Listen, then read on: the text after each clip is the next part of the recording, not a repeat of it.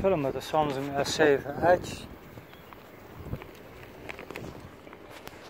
23 juni 2020 vandaag is de hittegolf begonnen en het is ook inderdaad warm.